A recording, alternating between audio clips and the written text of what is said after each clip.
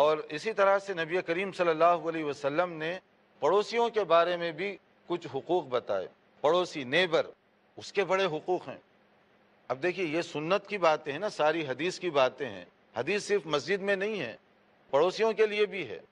یعنی وہ آدمی جس کا پڑوسی اس کی ایزا رسانیوں سے محفوظ نہ ہو، اللہ تعالیٰ اس آدمی سے راضی نہیں ہے۔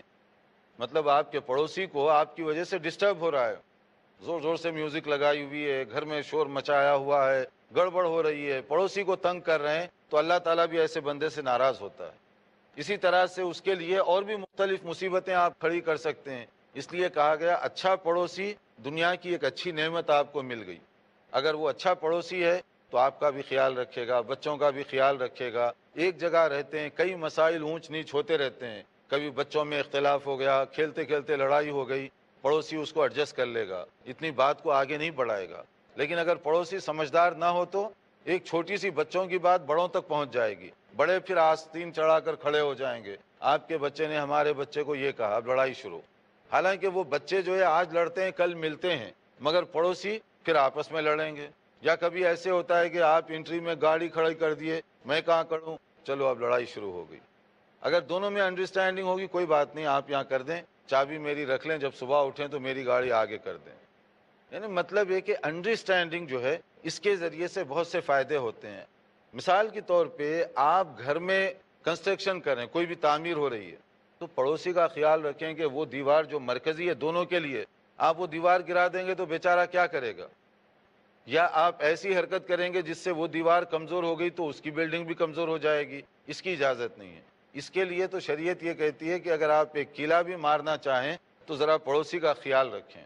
دونوں کو یہ دوسرے کو یہ بتایا گیا کہ جب اس کا گھر ہے تو آپ یہ چھوٹی چھوٹی چیزوں میں نہ الجھیں۔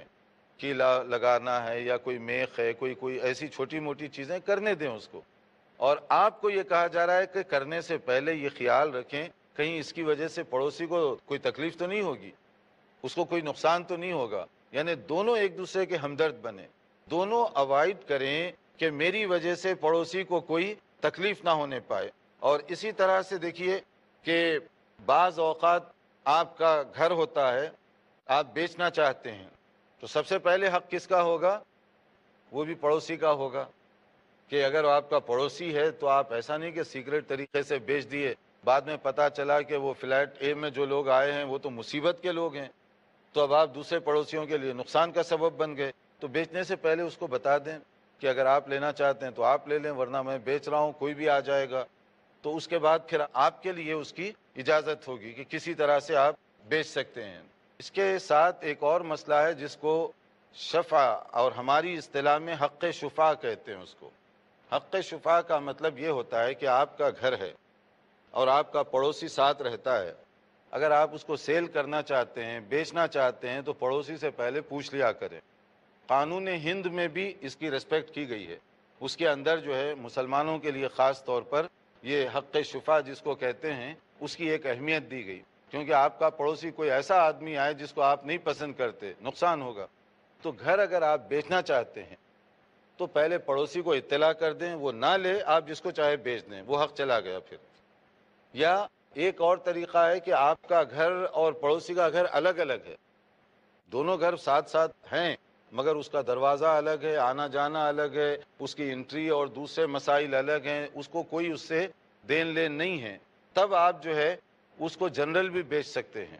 لیکن یہ کھیتی باڑی اور دیہاتی زندگی میں یہ پرابلم بہت ہوتا ہے۔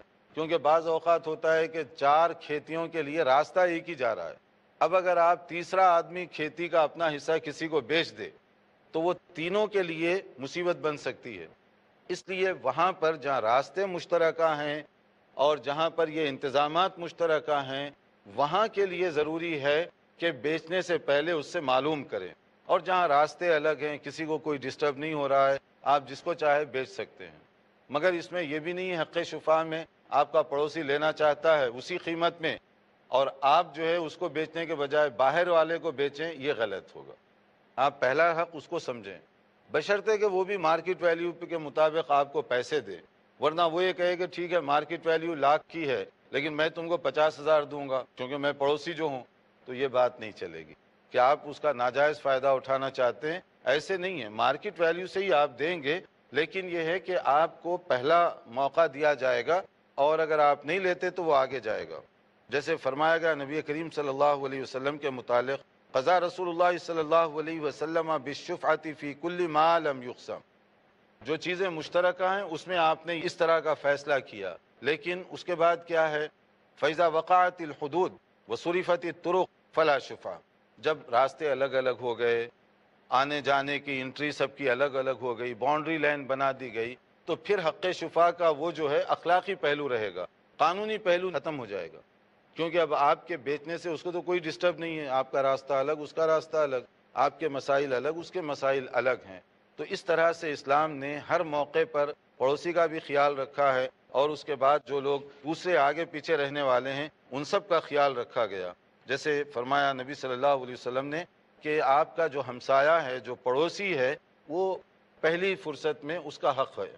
اگر آپ اس کے حق کو ریکگنائز کریں گے، تو اس کے لیے زیادہ فائدے کی چیز ہوگی۔